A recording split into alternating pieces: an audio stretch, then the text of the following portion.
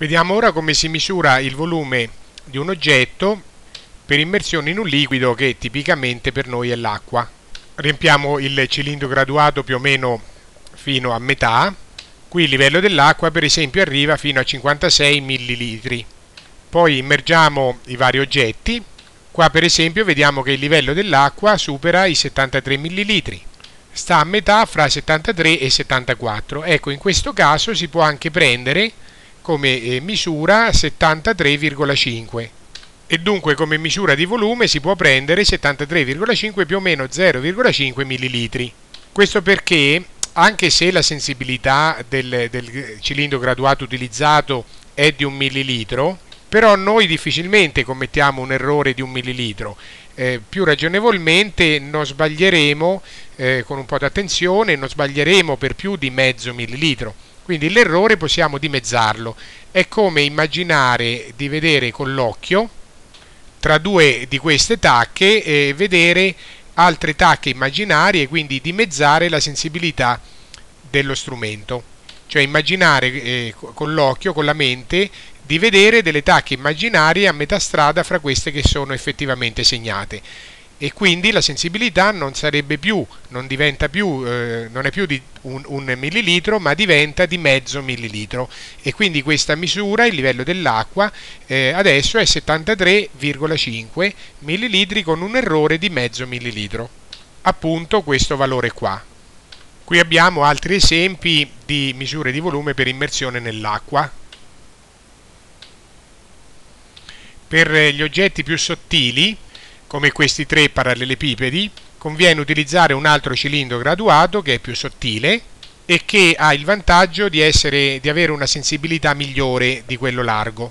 Infatti, come vediamo in questa immagine, qui c'è il livello dei 10 ml, qui è 15 ml e ci sono in mezzo 10 tacchette, quindi vuol dire che ogni tacchetta è mezzo millilitro. Vediamo anche che il livello dell'acqua si trova a circa 13 ml perché qui è 10, 11, 12, 13 quindi scriviamo 13,0 più o meno 0,5 ml anche in questo caso potremmo dimezzare la sensibilità dello strumento e quindi immaginare delle tacchette aggiuntive messe tra le tacche vere.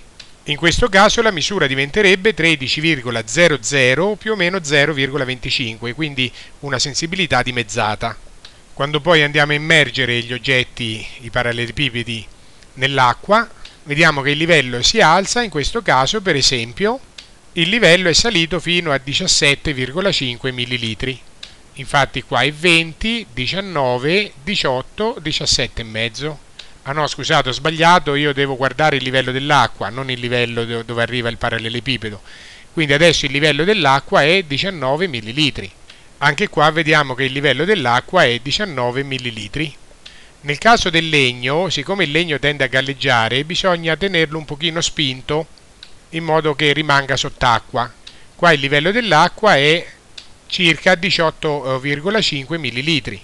18,5 o addirittura si potrebbe dire 18,75, essendo a metà strada fra 18,5 e 19.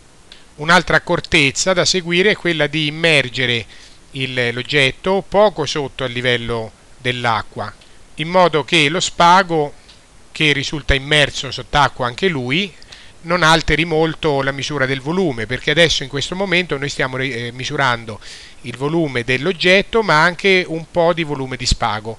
Quindi sarebbe il caso di tenere meno spago possibile sotto il livello dell'acqua.